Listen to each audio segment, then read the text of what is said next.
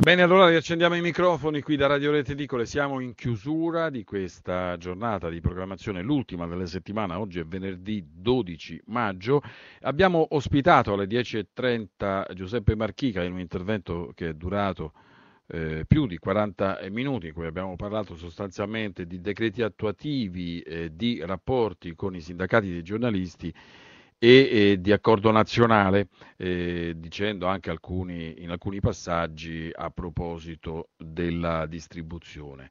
Un intervento interessante perché insomma, ha dato altre notizie, ha parlato anche eh, di questa novità che sta bollendo in pentola e che dovrà essere perfezionata eh, di un accordo che dovrebbe potenziare la vendita dei libri in edicola su basi completamente nuove rispetto rispetto al passato.